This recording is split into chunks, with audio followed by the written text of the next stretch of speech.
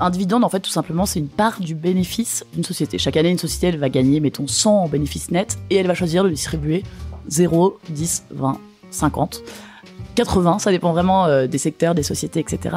Elle va choisir de les distribuer donc euh, à ses actionnaires. Donc euh, c'est ça un dividende. En fait, on achète une action, c'est un peu le loyer qu'on va percevoir chaque année sur son action. Sachant qu'il y a des sociétés qui structurellement ne distribuent pas, et il y en a d'autres qui distribuent.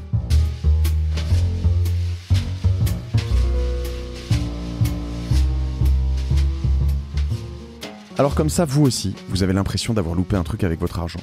Salut, je suis Mathieu Stéphanie et je vous présente La Martingale.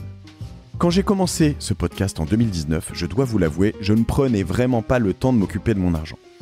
Et aujourd'hui, après avoir rencontré plus d'une centaine d'invités géniaux, j'ai clairement pris du galon. J'ai réalisé de super investissements que j'aurais jamais pensé faire. En IMO, sur les cryptos, en bourse et dans bien d'autres domaines bien plus exotiques.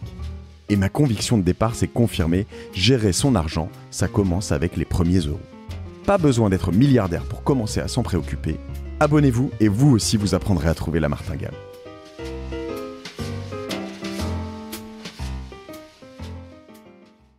Euh, on n'était pas là pour parler de ça, on est là pour parler. Ça m'intéresse On parlait marathon juste avant avec Marie. Euh, salut Marie, ça va? Ouais, et toi? Ouais, très bien. T'as une voix de radio, tiens, c'est marrant. Ah bah écoute, euh, très bien, je note. T'as déjà fait des podcasts? J'ai déjà fait des podcasts. C'est vrai. Bon, celui-là va être mieux, j'espère. Évidemment. non, beaucoup de respect pour mes amis podcasteurs. Je suis très content d'enregistrer enfin euh, cet épisode sur les euh, les dividendes Kings, pas que d'ailleurs, puisqu'il semblerait qu'il y ait des aristocrates aussi chez les dividendes. On va, on va, on va, expliquer, on va expliquer tout ça. Pourquoi je suis très content? Parce qu'en fait ça montre aussi la complexité de tout ce secteur, de tous ces investissements où en fait tu as une, une tu regardes souvent que la perf pure, euh, donc combien vaut une action, elle est montée, elle est descendue, etc. Je l'ai redécouvert, j'y reviendrai tout à l'heure avec euh, Meta notamment la semaine dernière qui a fait des annonces, qui est monté très fort, donc il y a beaucoup de gens qui vendent, mais en fait tu dis ah mais c'est peut-être pas si euh, si intelligent que ça à voir. Et puis tu regardes, je sais pas justement les frais, tu regardes la perf, tu regardes des tas de choses pures, mais il y a plein de de petits endroits qui font que euh, bah, tu gagnes de l'argent euh, autrement que sur la perte pure. Moi, je le découvre euh, notamment, et c'est assez drôle, via des ETF. je suis sur mon compte Itoro, j'ai des ETF de pas mal de trucs, du MSCI World ou des choses comme ça. Et de temps en temps, je reçois un petit, vous avez reçu 70 euros de de dividendes de telle action. Je dis, ah bon, mais j'ai pas telle action. Et en fait, euh, je reçois des petites notifs, euh, notamment par Finari, qui me dit euh, bah, que j'ai reçu des, des dividendes. Et je suis pas au courant que j'ai même ces actions en l'occurrence. Donc c'est assez drôle de voir que tu as des petits gains comme ça qui se cumulent à droite à gauche. on va parler de ça. Toi, tu as, fondé Ibu, c'est oo.expert. on y reviendra tout à l'heure et tu m'expliqueras un peu pourquoi et comment vous accompagnez on dit les petits porteurs, c'est un peu ça en fait vous les, Exactement, les particuliers. On a quelques clients pro aussi, mais, euh, mais majoritairement des particuliers euh, avec des portefeuilles petits ou gros, euh, et qui ont tous vocation à devenir gros, bien sûr. Dans leur strate d'invest, action, principalement donc sur le côté. donc tu connais bien ce sujet parce que vous êtes vraiment très expert data. Et, et, donc tu vas m'expliquer un peu, si tu veux bien déjà, de quoi on parle. Qu'est-ce que c'est une dividende? Un dividende? Un dividende un dividende. Oui, un dividende, j'ai dit une. Oui. Euh, un dividende, en fait, tout simplement, c'est une part du bénéfice euh, d'une société. Chaque année, une société, elle va gagner, mettons, 100 en bénéfice net et elle va choisir de distribuer 0, 10, 20, 50. 80, ça dépend vraiment euh, des secteurs, des sociétés, etc. Elle va choisir de les distribuer donc à ses actionnaires. Donc c'est ça un dividende. En fait, c'est un peu quand on achète une action, c'est un peu le loyer qu'on va percevoir chaque année, si tout se passe bien, sur son action. Sachant qu'il y a des sociétés qui structurellement ne distribuent pas, et il y en a d'autres qui distribuent. Souvent, ce sont les sociétés en croissance. les sociétés tech sont connues pour pas distribuer de dividendes, euh, enfin en forte croissance parce qu'elles réinvestissent tout. En fait, c'est ça. Hein. Alors exactement, la tech c'est encore un peu particulier, mais effectivement, euh, les sociétés en croissance, elles sont supposées pour conquérir des parts de marché, pour euh, croître avec leur marché, donc c'est accompagner la croissance de leur marché et également euh, augmenter leur part en, en, achetant le copain, en gros. Hein. Ouais. Euh, elles ont intérêt à garder le, leurs bénéfices pour elles, pour pouvoir avoir accumulé du cash et être prêt à ça. alors qu'une société sur un secteur plus mature, qui aura une croissance plus faible, elle, elle va pouvoir commencer à distribuer, etc. Et si cette société euh, a une position concurrentielle favorable sur ce marché, elle sera en mesure de non seulement assurer un dividende, mais l'augmenter chaque année, etc. Hmm. Parce qu'elle aura une position forte. La tech, c'est un peu particulier parce que pour le coup, ils ont des milliards de cash. Euh, et en fait, ils ne réinvestissent pas dans leur croissance. Enfin, ils en réinvestissent une partie, bien sûr, mais euh, mais ils peuvent pas tout réinvestir tellement ils en ont.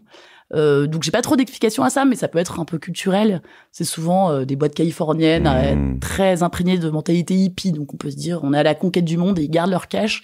Et de temps en temps, ils font une acquisition de ouf, genre Google avec YouTube. Je crois que c'était euh, 1,6 milliard de dollars à l'époque. Tout le monde était euh, Mm. c'est des malades, mais ils avaient le cash nécessaire parce que forcément, ils gardent tout. Ouais, Euh, Facebook avec Instagram. Facebook, euh, Instagram, c'était un milliard. Et en fait, voilà, ils accumulent ça. Et comme ça, le jour J, ils sont prêts à, à faire un énorme investissement, une acquisition ou continuer à investir, bien sûr, dans l'intelligence artificielle, le métaverse pour euh, Meta, etc. Ouais, ça, et Meta qui, qui investit dans le métaverse, qui s'est bien planté, qui a perdu 20-30 milliards, je crois, là-dedans. Ouais, mais en même Euh, temps, ils ont Est-ce qu'ils ont tellement perdu que- Je sais, mais voilà, Ouais. ils en ont tellement, ça fait partie des coûts, euh, il faut être capable de, de lire l'avenir et c'est pas toujours simple.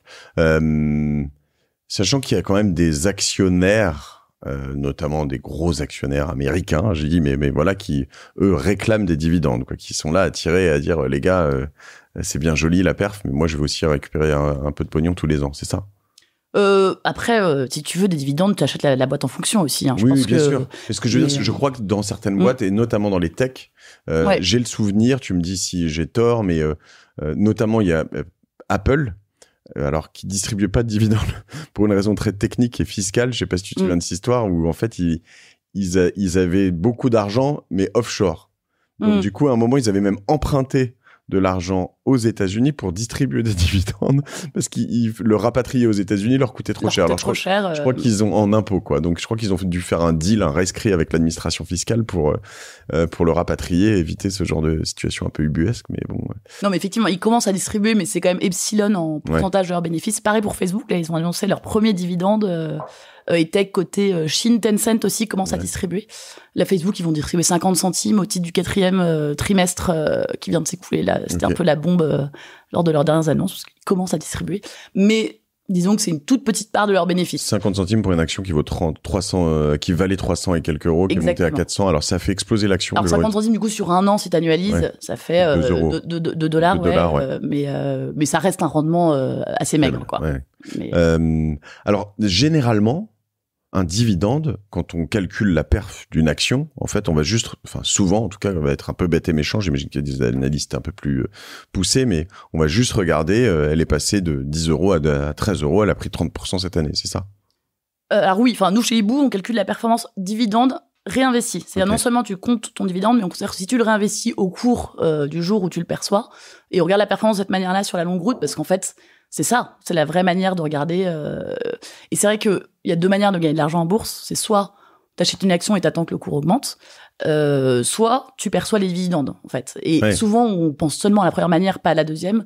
Dans les faits, les stratégies boursières, c'est euh, l'un, l'autre, ou le plus souvent un combiné des deux, en fait. Mais c'est vrai que la performance, c'est vraiment la combinaison des deux. Et si tu joues, je pense que vous en parlez souvent, parce que c'est vrai dans tous les domaines, si tu joues euh, la composition des intérêts, c'est un énorme jackpot sur la longue route, quoi. Et les dividendes, c'est cyclique, c'est-à-dire qu'il y a des moments où euh, il y a plein de boîtes. Enfin, je sais pas, est-ce que quand l'économie euh, va bien, elle distribue plus tu, pourrais dire que ce serait logique de dividendes. Quand l'économie va mal, elles, en distribuent moins. Est-ce que il y a des stratégies de faire monter les cours, de, enfin, comment comment euh, c'est chaque boîte qui est, vraiment euh, maître là-dedans? Est-ce qu'il y a des, des grandes stratégies, des grandes périodes, des, des conjonctures, des modes? Alors c'est vraiment lié, enfin le rendement, forcément le rendement c'est euh, le dividende sur le cours. Mhm. Donc si le cours baisse mécaniquement, le rendement en pourcent va augmenter. Hmm. Après justement la vraie, euh, le vrai intérêt, moi je trouve d'une stratégie dividende, c'est qu'un cours de bourse c'est assez volatile hein, par définition. Euh, tu peux acheter une action Coca-Cola. euh, Demain, le cours peut être divisé par deux. Bon, ça, ça arrive rarement, mais ça, ça peut arriver. En revanche, les ventes de Coca-Cola, ça va pas bouger comme ça. Ouais. Donc Coca-Cola va continuer à vendre du coca des litres et des litres, générer du cash en vendant ce coca. Et en fait, le dividende qui est lié au bénéfice, eh ben, il va être beaucoup plus stable du coup qu'un cours de bourse. Et l'avantage, c'est que du coup, ton cours de bourse il peut facilement faire moins 30, moins 40, moins 50%. Euh, ton dividende, en revanche, il va être indexé sur le bénéfice, donc beaucoup plus stable, beaucoup plus récurrent. Ça peut arriver qu'il y ait des accidents, bien sûr. Mais globalement, quand tu mises sur le dividende, tu réduis beaucoup ton risque si tu as bien choisi ta boîte. Sachant que tu peux avoir, hein, euh, dis-moi si je me trompe, mais des boîtes dans lesquelles euh, je vais donner des proportions un peu volontairement qui sont abstraites, mais euh, des boîtes qui valent par exemple 100 euros ou 100 dollars, peu importe, qui vont distribuer 8 dollars de dividendes par an. Euh, qui vont faire par exemple 20-25% d'EBITDA ou 20-20% d'EBITDA, donc leur bénéfice est à 20%, ils vont en garder 12 pour eux euh, et en distribuer 8. Euh, et sur euh, si la boîte, la cotation passe à 50, ce que tu dis, ils continueront à en distribuer 8. Donc Exactement. toi, en fait, ton euh, te, te, sur sur t'auras fait 8% sur 100 et tu peux passer à 16%. Enfin, c'est des métriques qui sont possibles, ce que je dis là ou C'est complètement possible. Après, je pense que moi je dirais qu'il faut réfléchir de manière euh, presque inversée, mais c'est c'est encore plus intéressant. Enfin, en gros, euh, si la boîte distribue 8 une année, tu l'as acheté, mettons à 100, donc tu l'as acheté à 8%, ce qui est un rendement carrément cool. Hein. 8%, hmm. c'est quand même vachement bien.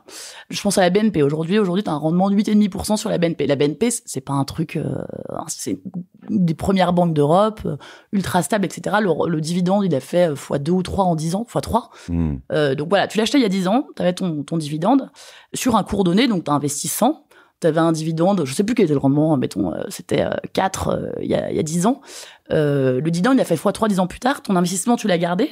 Donc, ton 4 est devenu un 12. Mmh. T'es passé à 12% de rendement. C'est ouf. Le cours, il a bougé, mais à la limite, tu t'en fous parce que tu vis sur le dividende. En l'occurrence, il est resté à peu près stable parce que les mmh. banques, on en parlera après, mais elles ont connu euh, une période compliquée. Euh, moi, la SG a pas, c'est pas mal des, c'est fait déboîter quand même en 15 ans, non euh... la bah, Depuis la crise de 2008, elles se sont toutes fait déboîter. Là, je parle depuis 10 ans parce que, en gros, 10 ans, on sort de la crise, euh, de la crise de l'Europe et donc. Enfin, pour les bancaires, en ce moment, il y a vraiment un truc à jouer parce que il y a eu donc la crise de 2008 qui a été suivie d'une vague réglementaire justifiée et qui les a carrément ralentis le temps qu'elles mettent tout ça en place parce qu'elles ont dû vraiment euh, réorienter, augmenter leur, euh, leur solvabilité, euh, sortir des trucs qui étaient trop risqués, etc. Donc maintenant, elles sont quand même très solides. Je parle de la BNP, la SOG, c'est encore une autre histoire. C'est très solide aussi, mais c'est pour le coup moins récurrent, disons. et en plus, il y a eu cette période de taux bas qui a un peu plombé leurs revenus. Ce qui fait qu'aujourd'hui, les cours sont bas. Les dividendes, en revanche, ils continuent d'augmenter depuis 10 ans. Il y a eu un arrêt avec la, crise de, de 2008, hein, mais là, ça a bien repris. Euh, et c'est des boîtes, bah, BNP aujourd'hui, on est à 8, 8,5 de rendement. Alors, le rendement, il bouge tous les jours. Donc là, ce chiffre que je donne au moment où le hmm. podcast va être diffusé, il sera un tout petit peu différent parce que le cours aura bougé. Euh, mais ce qui est sûr, c'est qu'on a un rendement qui est élevé. On achète aujourd'hui, on a 8, 8,5. Euh, L'année prochaine, ce rendement passera automatiquement à 9 parce que le, dividende est prévu pour augmenter dans les prochaines années, rester stable au moment augmenter. Et donc, chaque année, le rendement, bah, il, il, va, va, augmenter par rapport à mon investissement de départ. Et c'est vrai qu'on peut se retrouver avec des chiffres assez hallucinants. Euh, une boîte comme Steph, c'est un exemple qui me parle beaucoup. Euh, c'est un, un, transporteur SPEF, exactement. c'est ça, ouais. Un transporteur frigorifique qui est leader en France et qui s'étend en Europe, donc un leader européen maintenant. Euh, et tu l'achetais euh, il y a 20 ans, tu avais un rendement peut-être qui était de 4%. Euh, Aujourd'hui, tu auras un rendement de 30% sur ton investissement il y a 20 ans. Tu l'achetais il y a 10 ans, tu avais un rendement pareil de, de ce même ordre qui est équivalent au rendement d'aujourd'hui, aux alentours de 4%, je te dis ça de tête. Et aujourd'hui, sur ton investissement d'il y a 10 ans, tu as un rendement qui est supérieur à 10% c'est quand même euh, canon pour. Euh, enfin, tu vois, je te parle de l'investissement d'il y a 10 ans auquel t'as pas touché. T'as perçu 10 ans chaque année. En parallèle, c'est une action qui a fait, euh, tu vois, je la vois fois 2 en 20 ans, fois 2 en 10 ans, ouais. De 3 ans, enfin, je veux dire, t'es es quand même. Ah non, là, je suis sur 5 ans, ouais. Ouais, si, ouais, ça. depuis le fond 2021, elle était à 60, elle est à 118, ouais. à 120. Tu te dis, voilà, vache je te parle même pas de la performance du capital, là, vraiment juste du rendement. Euh, mais effectivement, euh, Steph, il y a 20 ans, c'était 7 fois moins qu'aujourd'hui. Il y a 10 ans, je crois qu'ils ont fait x 2,2 en 10 ans. Euh, et c'est pas une... Enfin, Steph, c'est un, très bon élève, hein, mais mais il y a, y a pas mal d'autres boîtes comme ça. Et donc, si tu investis sur une boîte, tu te dis, elle est sur un secteur mature, elle a une bonne position concurrentielle sur ce secteur, donc elle va être en mesure de continuer à augmenter doucement ses parts de marché, d'augmenter mmh. ses bénéfices et de se distribuer de manière récurrente en augmentant chaque année son dividende. Euh, t'achètes ce genre de boîte, tu diversifies un peu, bien sûr, hein, parce que ça sert à rien de mettre tous ces deux dans le même panier. Et t'attends 10 ans, 20 ans, ton, ton rendement mécaniquement va augmenter. Sachant que, enfin bon, il y, a toujours des accidents possibles, mais je reprends ton exemple de Coca, de Steph, par exemple.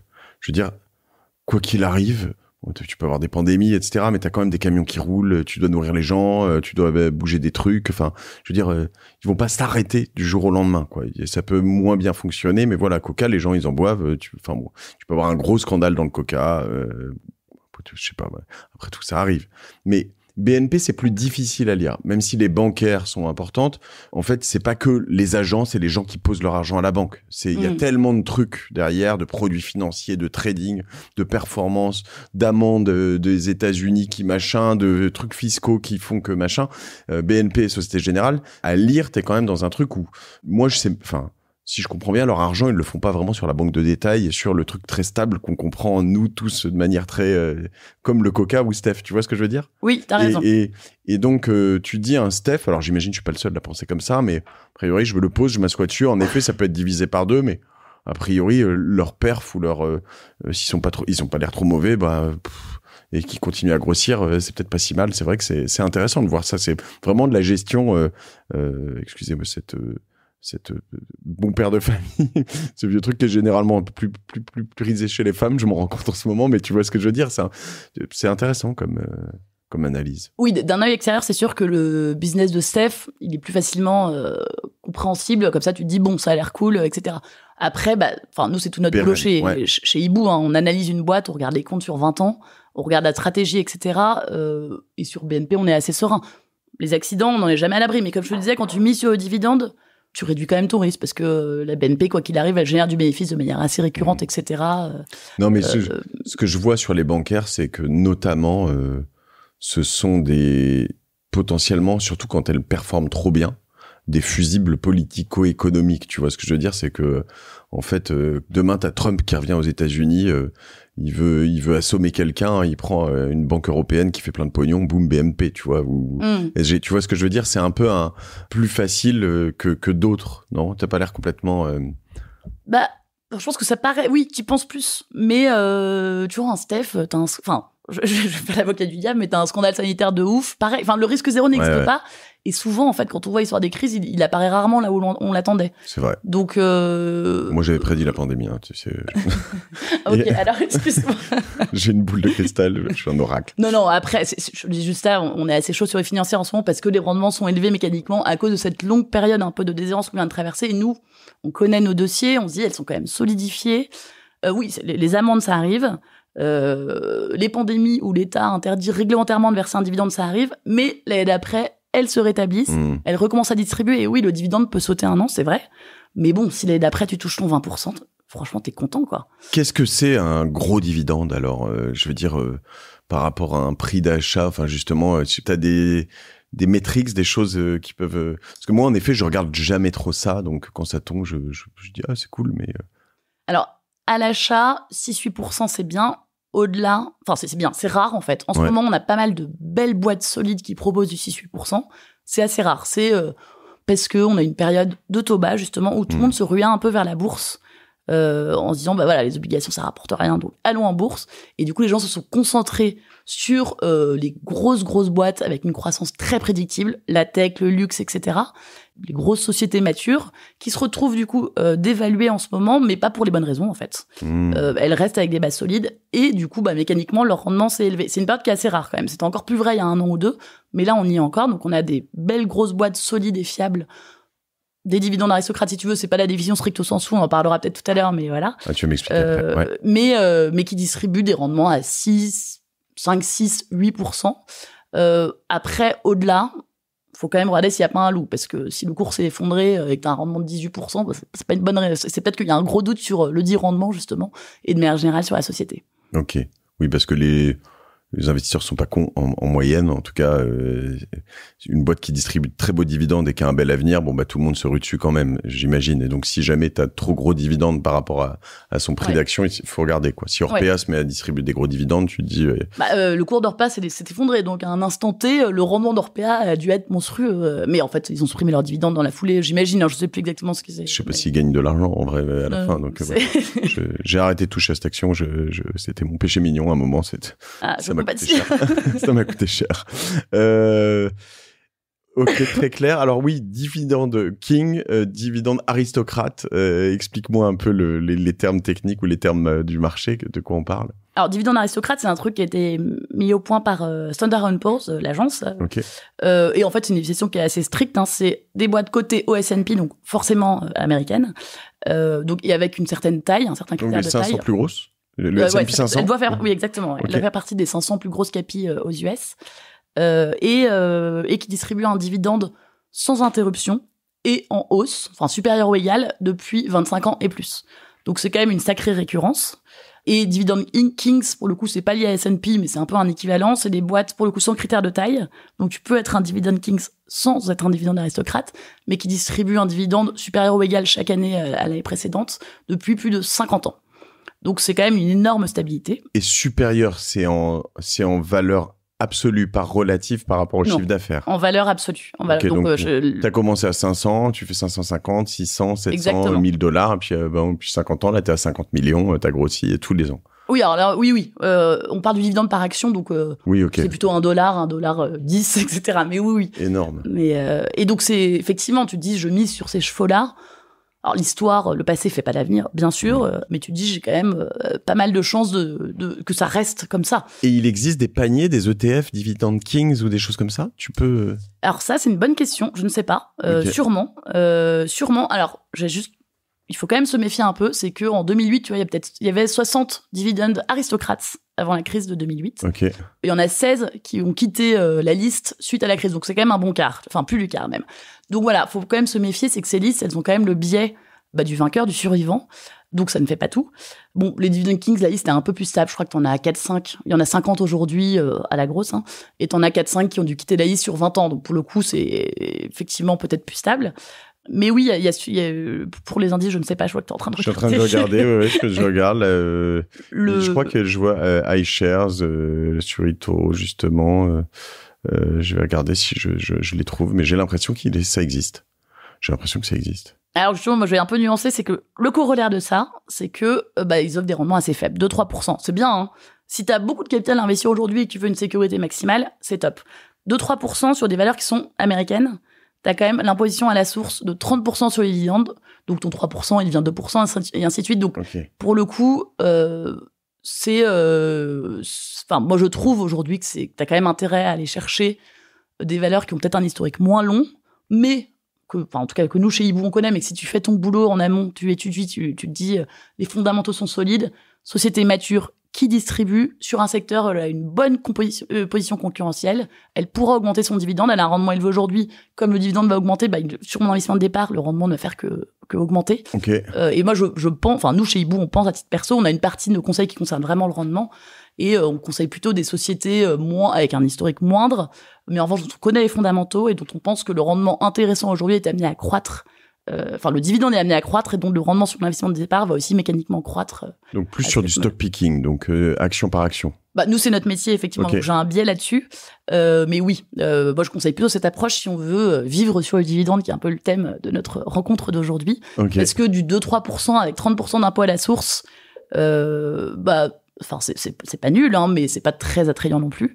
Euh... Et juste pour bien comprendre ce que tu dis, donc euh, euh quand tu fais des dividendes, par exemple, tu as des actions américaines, euh, on te verse 8%, t'en as, enfin, bon, mettons 8 euros, mais t'en as 2,4%, un tiers, qui t'est prélevé à la source par le par l'État américain. Ça? Alors en fait, je, je, me suis pas très bien exprimé, mais en gros, mettons, t'as ton dividende de 10 dollars, bon, ouais. euh, t'as 15% qui est prélevé à la source par l'État américain, et après t'as euh, 30% qui est prélevé par l'État français, donc tu sommes les deux, mais tu peux récupérer jusqu'à 15%. Donc en net, en gros, euh, tu, tu, perds 30% de ton dividende en différentes étapes. Donc, euh, sachant que, là, tu me parlais d'Itoro, mais en gros, si, si tu es euh, chez une banque ou un courtier français euh, je crois que la récupération se fait automatiquement par ta déclaration d'impôt. Si c'est un courtier qui est pas basé en France, euh, Itoro, je ne sais pas si c'est le cas, tu dois remplir à la mano un petit formulaire que tu dois envoyer et tout, donc donc c'est un peu galère. Donc euh, donc ça peut aller jusqu'à 45% si tu n'arrives pas à faire la paperasse, tu vois. Donc euh, là c'est un peu euh, c'est un peu confiscatoire quand même. Hein. et, et, et, ça fonctionne dans les PEA, il y a des différences si le dividende tout ça ou c'est pareil. Alors le PEA non, le PEA c'est bon c'est un plafond à 150 000 euros, ce qui est mhm. quand même pas mal. Et si tu arrives à bien passer de 150 000 euros et avoir des bons rendements dessus, euh, tu vois, au bout 10-20 ans, tu arrives à 20% de rendement sur 50 000, c'est quand même carrément cool.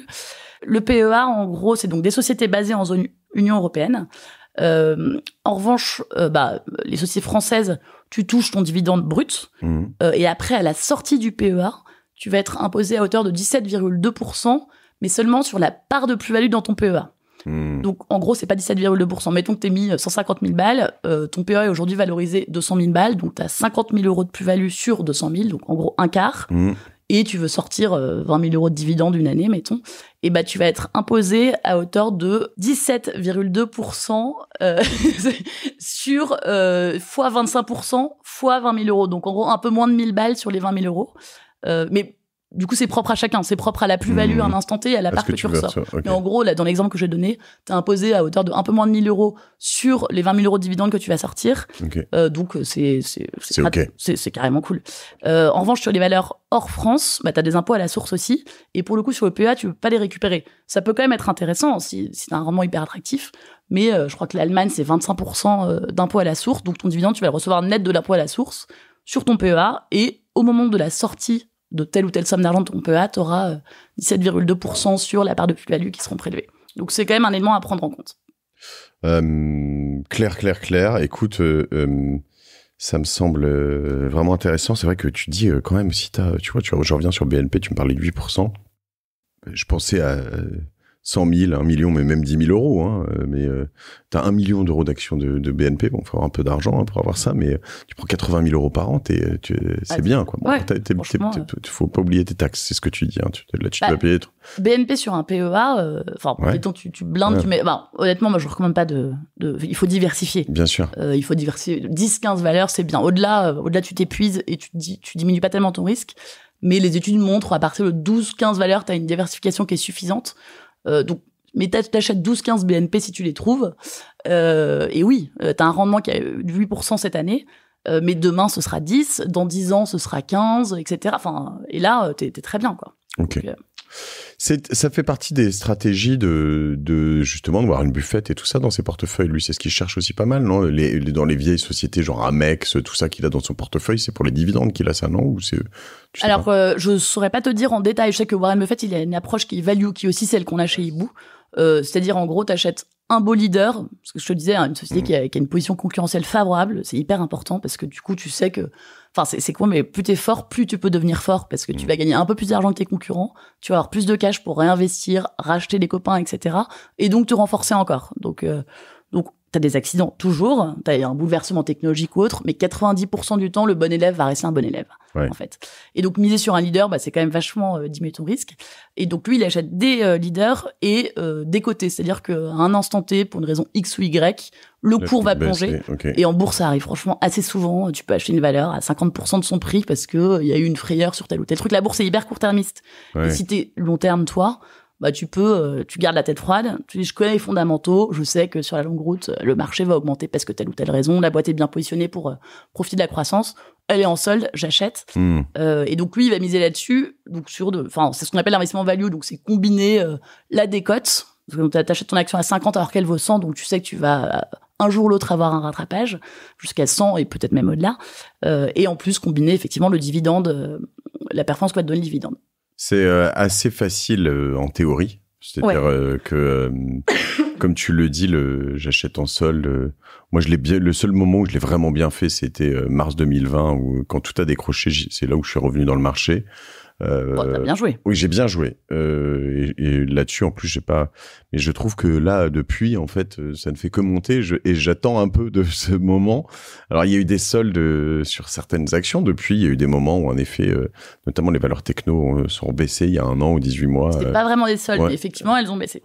Quand même, hein, justement, un méta, il est redescendu en dessous de 200. Oui, méta, oui, oui, méta, t'as raison. et, et voilà, mais c'est vrai que du coup, je cherche, je cherche un peu les sols, mais je les vois pas encore à l'avenir. Mais ouais, chez Ibu. chez je vais aller chez Ibu. Non, en plus, moi, je regarde que plein de grosses, grosses valeurs. Donc, en effet, ça m'intéresse de, de voir ça. Euh, parce que justement, comment on les trouve toutes ces, comment vous les trouvez, comment euh, après je peux les trouver avec Ibu, mais voilà, comment je les trouve ces, ces valeurs euh, intéressantes, ces soldes, et notamment chez des bah, Dividend Kings ou aristocrates. Comment je trouve un Steph là d'où tu me parles tout à l'heure? Moi, en fait, je savais même pas que c'était coté, tu vois, une boîte comme ça. Ouais, euh, bah c'est toute la question. Honnêtement, un site comme Ibu, c'est quand même cool parce qu'on fait le travail, euh, on fait le travail, on, mâche le travail parce que c'est quand même un gros boulot d'analyser une boîte, etc. Maintenant, si tu veux en un coup d'œil, tu cherches du rendement, euh, c'est tout con. Tu vas sur Boursorama ou Zone Bourse et tu tapes palmarès dividende 2024 mmh. et là t'as ta liste classée par rendement sur l'indice que tu veux. Donc et là, donc là tu vas avoir une liste de sociétés et après, bah, tu prends au cas par cas, tu dis ça, euh, il y a un rendement à 18%, c'est peut-être un peu craignos, tu regardes. Et euh, sur Zone Bourse aussi, moi j'aime mmh. bien ce site, hein, tu as un consensus sur 3-4 ans, et tu vois, sur le dividende notamment. Tu vas euh, sur la fiche de la société, tu cliques sur plus de données fondamentales, un truc comme ça, euh, et tu vas avoir les prévisions des analystes. Alors c'est pas c'est pas c'est pas une vérité absolue, mais quand tu vois que les analystes attendent à ce que par exemple le, le résultat fasse moins 50% l'année prochaine, tu peux te dire bon, il y a peut-être peut-être un Mhm. petit risque. Et donc tu peux prendre ta liste comme ça euh, et regarder un peu euh, ce qui ce qui a l'air le plus solide. Si tu vois que euh, la dette est contenue, le bénéfice est attendu en hausse, le dividende aussi, etc., tu peux aller creuser ton dossier, regarder un peu. Alors, tu as toujours les bases de données. Moi, je conseille quand même d'aller voir les rapports annuels, au moins le dernier, et jeter un œil rapidement au précédent. C'est ce qu'on fait chez Hibou. Alors, bien sûr, le particulier n'a pas forcément le temps de le faire, mais bon, en tout cas, il a les outils. C'est ça, vous, gratuits. vous regardez tout ça. Nous, on regarde tout ça, euh, mais c'est un boulot, c'est un boulot. Donc, euh, enfin, et c'est d'ailleurs toute la valeur ajoutée de notre service, c'est que on a des clients pros, on a beaucoup de clients particuliers, quelques clients pros, mais l'idée c'est vraiment de fournir un service professionnel, de qualité professionnelle. On fait un boulot, euh, bah, grosse due diligence sur la société sur 20 ans, sur sa stratégie, etc. Euh, c'est du boulot pour un Et particulier. sur des françaises, euh, européennes. euh, Alors, pour- on est vachement axé sur les marchés français et européens. On a aussi des valeurs asiatiques, américaines, etc., euh, qui nous attirent l'œil. Pour les valeurs asiatiques, en ce moment, justement, euh, euh, les marchés asiatiques se sont bien cassés la gueule, donc tu as des rendements qui sont assez délirants. Il faut prendre le risque. Parce que voilà, en ce moment, il y a quand même euh, la Chine fait un peu peur. On se dit, bah, si demain ils attaquent Taïwan, les bourses, euh, la bourse de Mhm. Hong Kong, qu'est-ce qui se passe? Donc voilà, c'est un risque à prendre. Après, euh, effectivement, tu as des choses très intéressantes qui se passent de, ce- de ce côté-là. C'est un peu spéculatif, mais, mais c'est hyper intéressant. Intéressant. Euh, je vais faire, j'ai fait un épisode sur l'Amérique euh, du Sud récemment. Je j'en prévois un sur l'Asie qui va être très très cool. Ah bah, j'ai. Euh, ouais, ouais, ouais. Euh, Normalement avec Thomas Friedberger. Je sais pas si t'as déjà écouté Thomas ici euh, de chez Tikeo, Ah. euh, qui est en ce moment même en Asie. Et alors, quand tu les analyses comme ça, qu'est-ce que tu as vu? Je sais pas si je te parle de 2023. Euh, Est-ce que tu as des, t'as des idées en tête comme ça, les, les top 5 Dividend Kings, les aristocrates euh, Enfin, est-ce que tu as des, actions? Tu m'en as cité quelques-unes là depuis tout à l'heure. J'ai en, tête Coca, euh, Steph, BNP. Euh, tu as d'autres choses avec euh, Alors Steph, pour moi, c'est un, un, un dividend king du, enfin pas du passé, mais en gros, je le sais comme exemple de, des meilleurs perfs qu'on n'imagine pas sur les 10, 20 dernières années. euh, voilà. Aujourd'hui, on est quand même dans une période assez cool, euh, comme je te le disais, hein, parce que bah voilà, on a pas mal de très belles sociétés qui offrent des rendements qui sont assez élevés. Steph, tu l'achetais il y a 10 ou 20 ans, tu avais 4% de rendement et ça a augmenté dans le temps et c'est génial. Mais aujourd'hui, tu peux acheter des sociétés directes qui ont euh, 8%, 6%. Euh, et alors, je te prépare un petit top perso. Vas-y. Alors, je t'ai parlé de la BNP euh, pas mal parce que voilà, on est à 8, 8,5% de rendement aujourd'hui. Le dividende est attendu en hausse continue dans les prochaines années. Donc, tu vois, sur l'investissement, si tu investis aujourd'hui, euh, dans trois ans sur ton investissement, tu auras déjà un rendement attendu de 10%. Euh, et nous, chez Hibou, on, on fait des prévisions un peu plus longue route, 10% par an 10% par an. Euh, et sur les mets- dividendes uniquement. sur les dividendes, je te parle même pas de la de la valeur. Euh, ah, bah, qu'elle soit divisée par deux ou multipliée par deux, on s'en fout un peu si tu veux vivre sur les dividendes, tu vois. Mm. Mais c'est quand même cool si le cours augmente aussi. Ouais.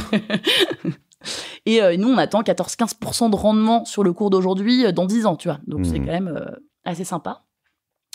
Une autre banque, désolé, Mhm. Crédit Agricole, euh, pareil, euh, on est à 8, 8,5% de rendement euh, attendu aujourd'hui. On attend 10% à 10-11 ans, euh, donc quand même sympa. Amundi, donc c'est un leader de la gestion d'actifs en Europe. Ah, Mundi, je connais très bien. Ils m'ont Ouais. sponsorisé. J'ai fait des émissions sur TF1 avec eux. Des gens bien. on les aime bien. Et Amundi, ils étaient un petit peu euh, titillés sur certaines, euh, sur- alors peut-être sur leur euh, SCPI ou sur certaines choses, c'est ça, non? Je sais pas Ouais. si tu- ouais, ouais, c'est ça. Ouais. Et ils performent bien quand même euh, dans ils l'ensemble. performent bien, ils commencent à s'étendre en Asie et tout, donc c'est euh, vraiment. euh, Et puis bon, le- leur marché c'est l'épargne, l'épargne de tout un chacun, et c'est un truc, bah, c'est en augmentation dans le monde. Alors ils sont en Europe principalement, mais euh, mais ils sont sur les Ils sont liés crédits. à Crédit Agricole, non? Euh, oui, oui, complètement. Très bien. Et c'est coté indépendamment aussi? C'est coté indépendamment, ouais. Ok. C'est, bah, ils sont juste à côté à Montparnasse. Euh. Et donc là, on est à 6,8% de rendement aujourd'hui. On attend euh, 8% à 3 ans, Énorme. 12% à 10 ans. Donc c'est des trucs. euh, et bon, c'est pas, c'est pas des, des startups qui sortent de nulle part, tu vois. Non. Alors, en revanche, euh, juste pour notre définition de dividend kick dont on parlait tout à l'heure, c'est Amundi, c'est coté depuis 5-6 ans. Donc t'as Mhm. pas un historique euh, aussi fort De que, 25 ou 50 que ans. un ExxonMobil ou Mhm. un Chevron qui sont des, des dividendes aristocrates euh, US. Mais en revanche, depuis euh, leur création, ils, euh, ils distribuent chaque année un dividende en hausse constante. Depuis leur création, depuis leur cotation, excuse-moi. Euh, et en plus, quand tu regardes les fondamentaux, tu vois que leur bénéfice est attendu en hausse. Donc voilà. Euh, on a AXA aussi, 5,6% de rendement. Donc là, j'ai fait be- beaucoup de financières, j'ai changé un Mhm. on attend, euh, à 10 ans, on attend un rendement à 9-10% sur le cours actuel. Donc, même cool. Veralia, qui est peut-être un peu moins connu, c'est le numéro 3 mondial et le leader en Europe pour la production de, de bouteilles de verre. et nous, c'est une boîte qu'on aime beaucoup. C'est pas une grosse boîte, c'est pas hyper connu parce que c'est du B2B. Hein. Aujourd'hui, sur Veralia, tu as 4,2% de rendement, ce qui est bien, pas top. Euh, mais on attend à 3 ans, on attend du 7%, euh, du 9% à 5 ans. Et à 10 ans, si euh, la croissance de bénéfices est ce qu'on attend, on pourrait être à 17%. Donc ça, c'est un truc, c'est un peu de l'ordre de Steph, si tu veux. Et juste pour comprendre, quand tu dis on attend, là, vous faites, vous, une projection du cours en vous disant il va monter un peu. Il fait une projection des bénéfices. Et des bénéfices. Des bénéfices. En gros, on regarde les bénéfices, la croissance du marché, la position de Veralia qui est bonne. Surtout que dans la production de verre, t'as quand même des barrières à l'entrée et c'est un secteur qui est assez local. Donc si tu t'étends en mmh. crabe, c'est pas des trucs que tu fais faire voyager sur des milliers de kilomètres. Euh, et donc la position concurrentielle de Veralia est bonne, leader euh, leader européen. Euh, sur un marché qui est pas en énorme croissance, mais en même temps qui est très résilient parce que tu as toujours besoin de bouteilles. C'est une action qui est très stable, qui passe, euh, qui est, tu vois, qui a été introduite à 30 ish, 28, 29, qui est entre 32 il y a en 2022, 34 maintenant. Enfin, tu es vraiment sur des, ouais. ouais. Hyper résilient. voilà. Hyper résilient. C'est pas du Apple, hein. Mais en revanche, tu sais que les bénéfices sur un marché assez résilient comme ça, sur une boîte bien gérée, bien positionnée, ça va augmenter tranquillement. Le dividende aussi. Euh, et donc mécaniquement, ton rendement euh, dans la dire que le verre a un peu la cote plutôt plus que le plastique. Exactement, euh, c'est aussi porté par des moteurs de fond. Ça veut pas dire que ça va faire 15% par an en termes de taille du marché, mais effectivement, c'est un fond, un, truc qui est solide, quoi. Et alors après, bon, le verre, je pense que ça pollue, entre guillemets, ça, ça, ça, à produire, ça prend. Mais j'allais, j'allais te mm. poser ces questions parce que dans toutes les actions, alors c'est peut-être aussi parce que ça, celles qu'on analyse depuis les, les aristocrates et les, et les King sont des boîtes qu'on analyse depuis 25 ou 50 ans, donc elles sont cotées et grosses depuis longtemps. Mais euh, depuis tout à l'heure, pour ceux qui nous écoutent, qui sont plus euh, impact, euh, tu vois, on a du Coca, on a du Steph qui fait du transport routier, on a etc. Il y a il y a quand même des, des, des, sociétés à impact ou des choses comme ça qui, qui enfin, est-ce que tu peux cumuler tout ça ou c'est plutôt des sociétés de l'ancien monde, j'ai envie de dire honnêtement, là, en rendement élevé, j'en ai pas trouvé. J'en ai pas cherché non plus spécialement. Oui, pas cherché sur cet angle-là. J'ai vraiment une approche rendement. Euh, ça doit pouvoir se trouver après. C'est peut-être pas la philosophie de l'impact, hein. c'est aussi ce que tu disais. C'est euh, refiler beaucoup d'argent à ses actionnaires, c'est peut-être pas. Euh... Ouais, alors nous, honnêtement, nous c'est pas notre domaine du tout l'impact. C'est hyper important à, à, titre perso, mais nous on a des clients qui cherchent à maximiser leurs revenus. Alors ça veut pas dire acheter des armes euh, ou de la drogue.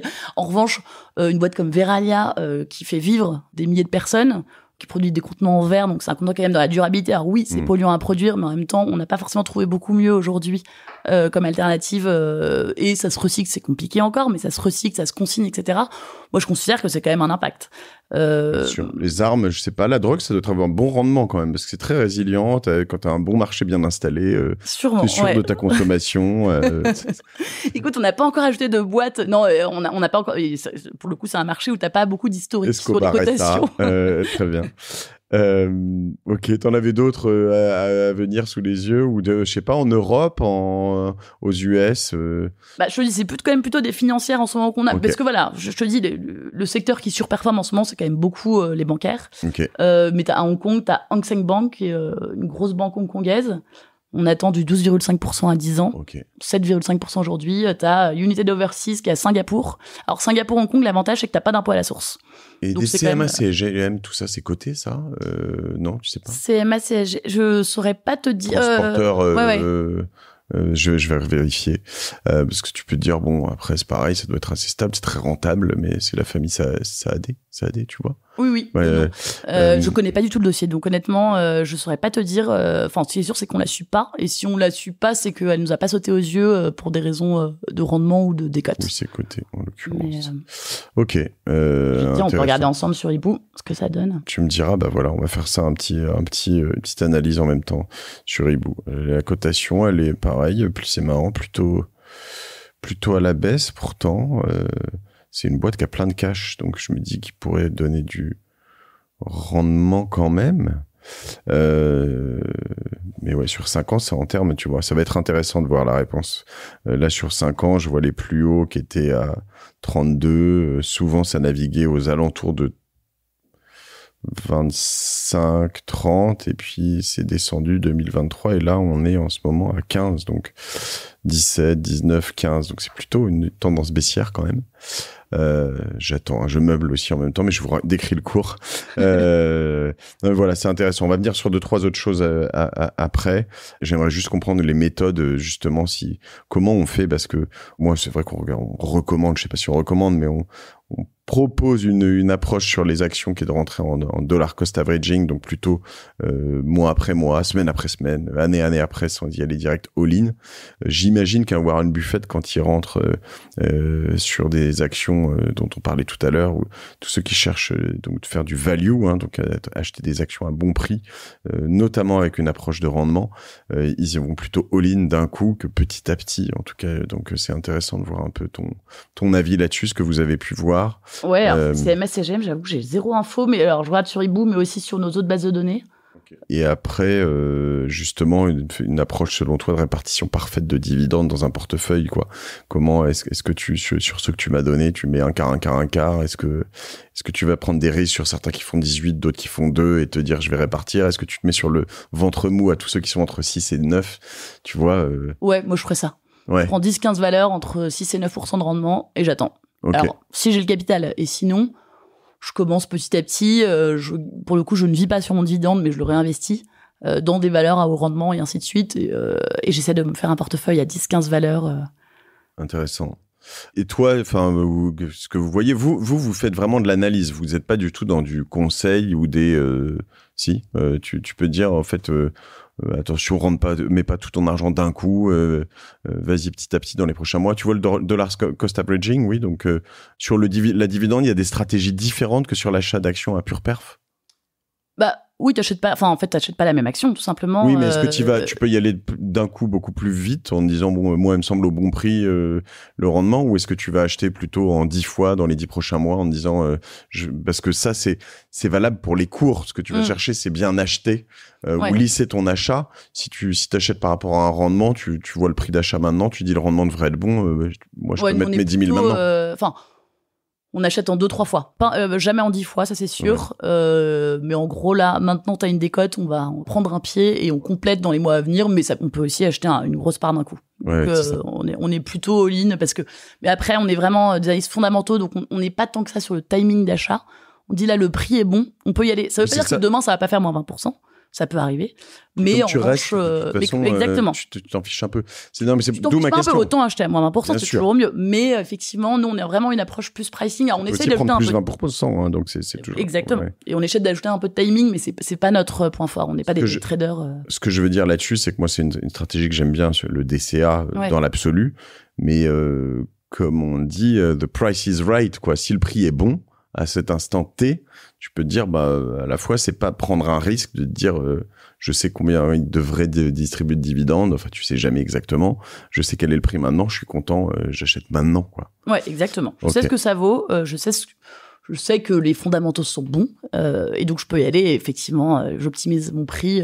Le, prix est bon. Donc après. Il y a euh, sur euh, des euh, plateformes, quand on achète et on vend, on, a des prix, euh, enfin on a des plateformes, des commissions, toute une série de commissions euh, qui sont prises par Bourseau, par plein d'intermédiaires en dessous, par Itoro, par qui tu veux.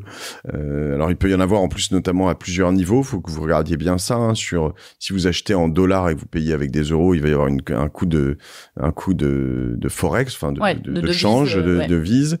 si tu achètes ben, telle action. Alors, euh, on me dit d'ailleurs, faut pas acheter en dehors des horaires de marché. Ça te parle ça? Euh, Oui, parce que tu peux avoir des variations euh, avant l'ouverture avec.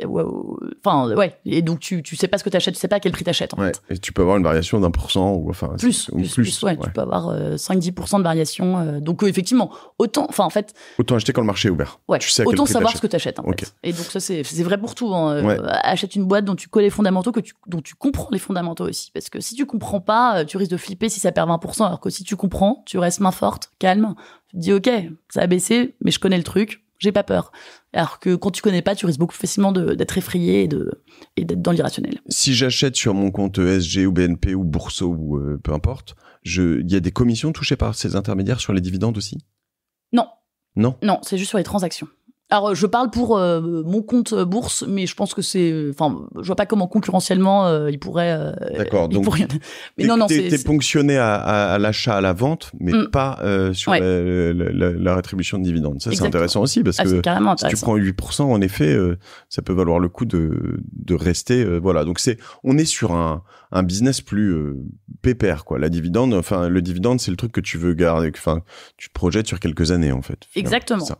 Et, et bon, ça a l'air de bien parce que c'est quand même moins sexy du sur un dividende, mais quand tu regardes la performance boursière sur ces euh, 50, 100 dernières années, le dividende, c'est 50% de la performance. Alors qu'on a en tête euh, les Explique-moi. qui font x20. euh, Avec des chiffres, par exemple, juste pour que je me projette, euh, je crois que j'ai lu ça, euh, on, on en avait parlé, mais il me semble que euh, souvent, je crois que dans la- euh, on en avait parlé, il me semble, j'ai noté ça, sur les années 80-90, les meilleurs perfs en moyenne, c'est 14-15% par an, c'est ça? Ouais, c'est Peter Lynch, euh, un des plus grands investisseurs mondiaux, qui a fait Ouais. ça. Euh, et euh, mais 14-15% par an, dividende compris. Donc c'est une combinaison de la hausse du cours et, euh, et du dividende. Mais au global, sur les indices boursiers, le dividende, c'est la moitié de la perf, en gros, dans la durée. Ouais. Euh, parce que en fait, euh, bah, c'est le cycle de croissance d'une société. Hein. Mm. Elle démarre, elle distribue pas, mais après, avec le temps, euh, plus elle s'installe, plus elle devient mature sur son secteur, plus elle va commencer à distribuer. Et je crois que c'est une boîte comme L'Oréal, elle distribuait 40-45% de son bénéfice il y a quelques années. Là, elle est Mm. passée à 50-55. Et donc, en moyenne, ta perf, c'est euh, dans la durée. Sauf bien sûr si t'as misé que sur de la tech, etc. Mm. Hein. Ça veut pas dire que ce sera pareil au 21e siècle parce que il y a quand même ces gros leaders de la tech qui sont arrivés, qui ont un peu bouleversé les choses avec culture très différente, mais bon, eux aussi commencent à Mhm. distribuer, donc ils y viendront peut-être. Ouais, mais c'est intéressant parce que ça veut dire qu'ils peuvent, ils peuvent peut-être attirer beaucoup d'investisseurs, ce qui fait que les autres euh, ben, baissent, du coup. Enfin, C'est un peu ce qui s'est passé, c'est pour ça qu'on a des gros rendements sur les sociétés matures, c'est vrai. Euh, c'est aussi pour ça que je dis que ce qui a été vrai sur euh, les 80-100 dernières années le sera peut-être pas sur les 80-100 prochaines années, parce qu'aujourd'hui, euh, je crois que 1% de la capitalisation de Facebook, c'est toute la capitalisation de Danone, un truc comme ça. Enfin, je dis peut-être une connerie, mais c'est de cet ordre, donc, donc ça a quand même un énorme effet sur les marchés et sur aussi bah, l'historique des performances. Mais voilà, globalement, le dividende, c'est une composante auquel on pense pas forcément, mais qui est ultra importante dans la performance d'une action. Et vivre dessus, c'est quand même dormir assez tranquille. Euh, C'est ça qui est un truc de ouf, c'est qu'en fait, ouais. on pense pas euh, dividende, on pense euh, euh, finalement toujours Cours. action, enfin Ouais. cours.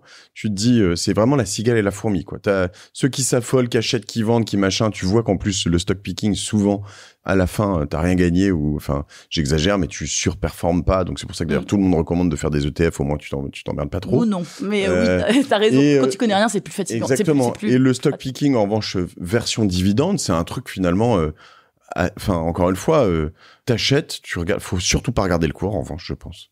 Bah, non, en mais fait, le tu cours détermine le stresser. rendement. Ah oui, Oui. oui, une fois que t'as acheté, une, Une fois que t'as acheté, euh, faut plus regarder le cours. Euh, ou alors tu le regardes si jamais ça a vraiment baissé pour te dire je vais racheter encore si, si le Ouais, éventuellement. si le si tu connais bien l'action si Il le- faut regarder la société quand même pour vérifier euh, que t'as pas un énorme profit warning et que ton Oui. dividende va être coupé, parce que dans ce cas, tu peux faire des arbitrages.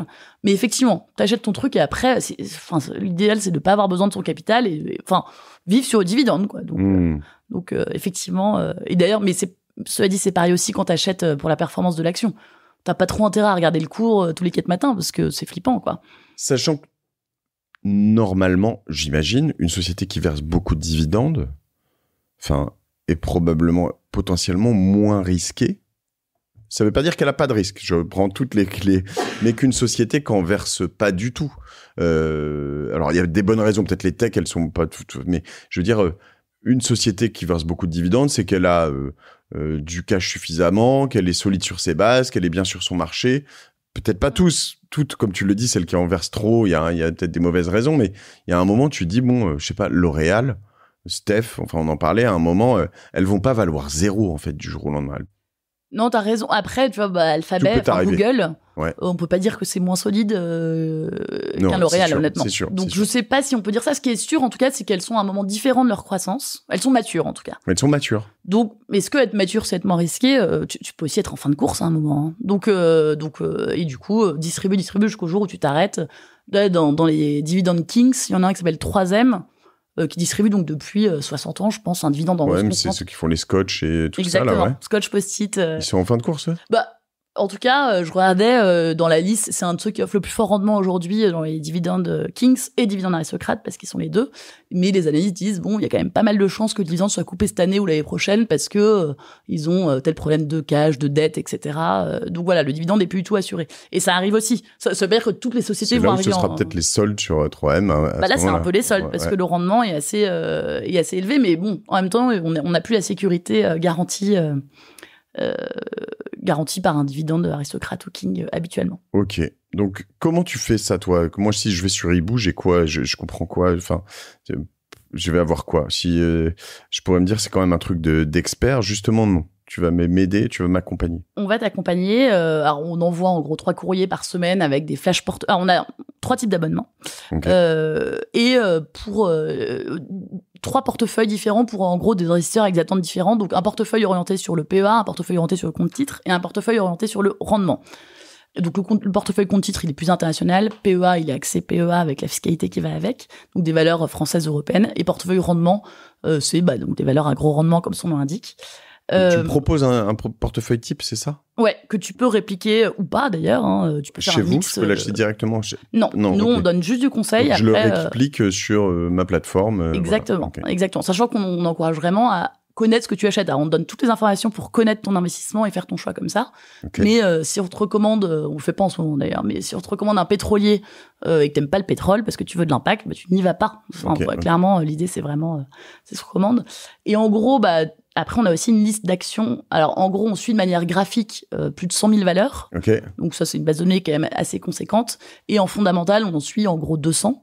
Euh, et ça, tu vas trouver les analyses et tu peux les classer par euh, rendement estimé, des cotes, etc. Donc, euh, un outil pour faire ta présélection toi-même. Et après, en fonction de notre analyse, on donne toujours un conseil d'achat. C'est pas forcément dans notre top valeur à acheter à un santé. Mais en revanche, si tu repères une société que tu adores, que nous, on n'a pas mis en portefeuille pour X ou Y raison, et qui est décotée et à l'achat, tu peux aussi y aller et te faire ton choix. C'est vraiment compréhensible et pour tout le monde, quoi. C'est euh, notre un minimum, ouais, faut être un minimum actif, ah, mais faut avoir un, minimum d'intérêt en tout cas pour le truc. Mais euh, oui, bah faut nous on recommande bah, d'acheter euh, ce qu'on connaît et donc non non, je veux dire, Ibou, si, donc là je reçois une newsletter je peux aller sur le site, mais euh, il y a des gens chez vous qui connaissent rien dans vos dans vos. Faut quand même que. Alors on propose des formations pour les gens qui veulent se former, donc tous les trois mois en gros. Euh, et également euh, un point important, c'est qu'on propose chaque mois un live à nos clients euh, où ils nous posent des questions en direct. Et en fait, c'est c'est quand même pas mal parce que du coup ça permet, si t'as pas compris tel ou tel truc, si t'as un doute sur telle ou telle valeur, tu peux être éclairci assez vite. il y a combien de vous avez combien de clients? On a en gros entre 1000 et 1500 clients à l'heure actuelle. Ok. Et euh, donc, on a analyse hibou et expertise hibou. Ce sont les deux approches aujourd'hui, c'est ça? Ouais, c'était aussi du sur-mesure. Du sur-mesure, ah oui, c'est ça, 1400 euros par an, je vois ça. Alors, analyse, c'est 18 euros par mois. Expertise, c'est 57 euros par mois. Exactement. Euh, 170 euros à l'année ou 180, ouais. Moins cher, t'as deux mois offerts euh, si jamais tu le fais à l'année. Exactement. Et la différence, c'est que tu as, euh, entre le analyse et expertise, c'est? Alors, analyse, tu as toutes nos analyses, nos conseils, euh, notre analyse technique sur ces 100 000 valeurs, etc. Expertise, tu as plus d'accompagnement, tu as les portefeuilles à répliquer, tu as les lives où tu peux poser tes questions, etc. Ok. Euh, et enfin, sur mesure, euh, c'est vraiment, tu as des problématiques personnelles, tu dis comment composer mon portefeuille, etc. Euh, sachant qu'on n'est pas conseiller en gestion de patrimoine. Donc voilà, on n'est pas habitué à donner euh, des, des, des, réflexions globales sur le patrimoine, mais, euh, mais on peut répondre aux questions avec un biais action, exactement. En gros, tu es comme si tu étais en salle de marché avec des analystes pros, sauf que j'ai ça pour moi. C'est ça. Exactement. Exactement. Et avec une vision plus long terme aussi, parce que j'ai été analyste en salle de marché. Et c'est plus court terme, mais c'est un métier qui est hyper, qui est top, hein, passionnant. Mais pour le coup, tu réfléchis à trois mois, six mois. Nous, on réfléchit plus à cinq ans, dix ans. On peut essayer sans, sans carte bleue. Exactement, euh, Donc, il suffit de s'inscrire sur ibou.expert. Pas besoin de rentrer sa carte, un test gratuit. Ok. Avec tout le contenu publié pendant la durée du test. Et si on vient de ma part et qu'après on J'ai négocié, euh, c'était dur, hein. Mais j'ai négocié 30% euh, euh, sur euh, sur la première échéance de l'abonnement Enfin, sur en gros un an si tu prends un an ou un mois si tu prends un mois. Vous prendrez un an, j'imagine, très bien. Recommande de prendre un an. J'ai l'habitude de négocier en plus, mais 30%, je suis satisfait. Je trouve Franchement, ça pas mal. déjà fait ça à quelqu'un d'autre? T'as déjà fait 30% Non. Ok. Non. Voilà, la martingale. même, même, en, ici, même, en Black Friday, je te jure. Eh ben voilà. On en parlait hier, j'étais bon, allez parce que c'était à 10%. Non, non, non. Ah, non, non, non, non, non. mais tu sais, en plus, 10% ça marche pas, les gens y vont pas. 20% ça commence à fonctionner. 30% ça fonctionne bien. 30% c'était beau. 30%, Avec attendez. le code martingale majuscule tout attaché. Ok, majuscule tout attaché, vous l'avez. trop bien. À l'issue du précédent gratuit. Non, mais moi, ça m'a donné vraiment, tu vois, envie de, de regarder ça sous le prisme différent. C'est sûr que L'ETF, je trouve ça cool, euh, paresseux, mais un peu triste parce que j'aime bien me remettre. J'avais aimé me remettre dans la bourse en, en, en 2020. Euh, ah bon, remettre. Euh, voilà, euh, et j'avais aimé parce que euh, je me réintéressais à des entreprises. Le côté analyse, en fait. Et j'aime bien qu'on me dise, tiens, elle fait ça, ça, on l'aime bien parce que, euh, regarde ça, et après, tu vas avec tes convictions. Mais tu vois, il y a un côté, enfin, moi, j'aime ça, quoi. J'aime les entreprises, j'aime euh, les gens qui se bougent, j'aime me dire, ah, ça, j'y crois, ça, j'y crois pas, ça, j'achète, etc. ça, j'ai envie, ça, ça mm. pollue, ça pollue pas. Bon, chacun voit, voit ses trucs. Ouais. Et l'ETF, en fait, c'est vrai que c'est cool. Tu dis bon, euh, finalement, je prends les plus grosses boîtes euh, dans tel ou tel secteur. Euh, c'est une bonne approche quand on n'a pas envie d'y passer du temps et de s'y intéresser. Et, et, et, là, je trouve ça assez cool. je trouve ça assez cool. Donc, ça me plaît. Ibou, h i b o expert. Toi, on peut te suivre sur LinkedIn? Par LinkedIn exemple et Ibou, on est sur Twitter, Instagram, Facebook. Euh, YouTube, YouTube. C'est vrai. Notre, on publie pas mal de vidéos sur YouTube. C'est notre premier gros média en fait. Euh. Ouais, des analyses euh, de société ou des, ou des commentaires macro. Euh. Ok, bah vous chercherez hibou.expert, j'imagine que ce sera ou sinon YouTube. Et toi, c'est Marie de Rem. C'est R-A-I-S. MES, c'est plein de pièges. Euh, ouais. Donc voilà, euh, sur sur LinkedIn, Marie de Rem Baron. Euh, et euh, t'as une petite martingale à toi, Marie, un petit investissement péché mignon, soit une action soit autre chose, je sais pas, un truc qui te plaît. Les actions, euh, les actions clairement parce que. Euh, il y en a une euh, qui t'a plu, un chouchou depuis toujours. tu vois, moi c'était Orpea, j'ai arrêté. non, nous on est très. Bon, c'est pas du tout une action dividende, c'est ultra spéculatif, mais j'aime beaucoup CGG en ce moment. laquelle? CGG. CGG. c'est la recherche en, géophysique. Okay. Mais bon, c'est l'ultra spéculatif, donc c'est pas ce que je recommande, et encore moins pour le rendement. On n'a pas le droit de recommander de toute façon ici, donc ok, très bien. Euh, et après, à titre perso, euh, bah, j'ai toujours évolué dans le monde de la startup, euh, et donc ma première boîte, j'avais investi dedans, et j'ai investi dans deux trois à ce moment-là aussi, donc j'ai aussi, mais pour le coup, c'est honnêtement euh, beaucoup moins euh, fiable et, et, reposant que, que d'investir sur le dividende. Mais c'est hyper intéressant aussi. C'est vrai, c'est hyper intéressant. Petites boîtes qui se développent. Ouais, et puis ça sert à quelque chose aussi. Exactement. Très cool. Bon, bah merci. Je suis ravi d'avoir fait cet épisode. J'ai appris beaucoup de choses. J'ai appris les kings, les aristocrates, euh, techniquement. Je savais pas que c'était, je pensais que c'était plus un, un, concept. Je savais pas que c'était un truc très euh, normé. les, les, aristocrates, c'est très normé et, euh, et, les kings aussi. Et on a l'équivalent en Europe, mais de manière hmm. moins, moins exigeante quand même. Parce qu'on n'a on n'a pas, on pas la même bourse, on n'a pas le même historique. C'est vrai. Et c'est, et c'est marrant, hein, tu vois. Moi, moi, je gère des boîtes aussi. Et donc, le choix des dividendes, à nos niveaux de, de, TPE, PME, euh, c'est quelque chose d'assez important. Tu vois tous les ans, tu te dis est-ce que euh, je garde le, cash sur ma trésor, est-ce que je veux le réinvestir, mm. est-ce que j'ai des projets d'acquisition, euh, etc., etc. Et nous on a une tendance à, et c'est marrant, c'est une philosophie, mais presque jamais en distribuer, à nous en distribuer. En mode tech US. Euh, ouais, ouais. et à être vraiment euh, barre de fer là-dessus, en mode croissance. Et pourtant, euh, tu vois, on, a fait de la renta, etc.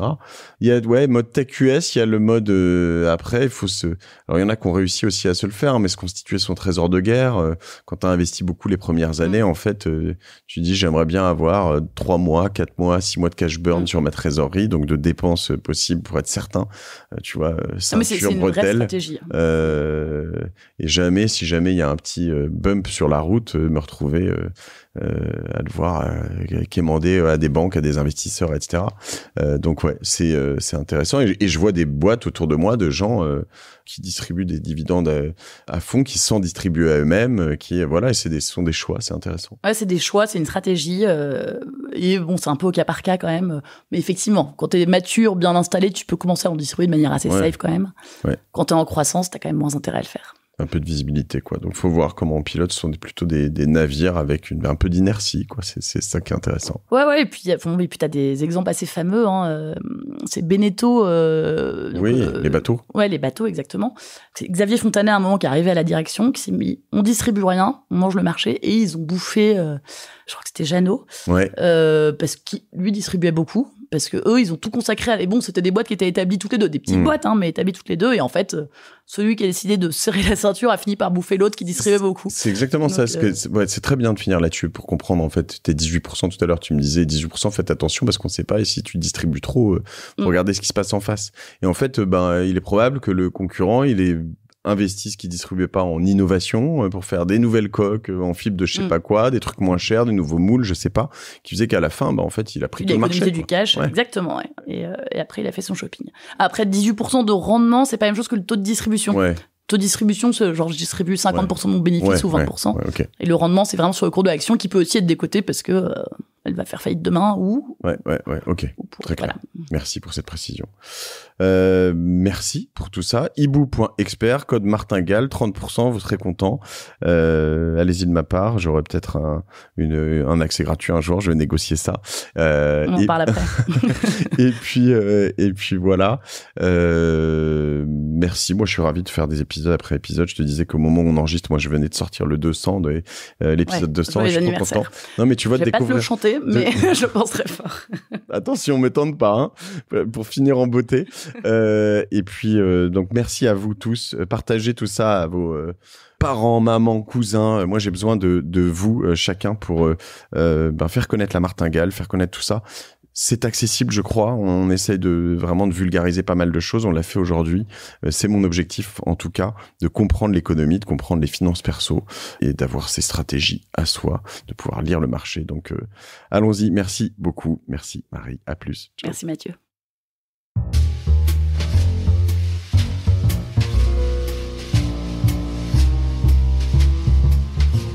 Merci d'avoir écouté la martingale jusqu'au bout. Si cet épisode vous a plu, n'oubliez pas de le partager autour de vous et de vous abonner à la newsletter sur lamartingale.io. Si vous trouvez 5 petites minutes, je vous invite à mettre une note 5 étoiles ainsi qu'un commentaire sur Apple Podcast. Ça nous aide beaucoup pour remonter dans les classements. Ce podcast est produit par Cosa Vostra, une agence conseil tech et créative qui accompagne ses clients dans leur stratégie digitale. J'aime beaucoup Cosa Vostra, si vous le savez bien.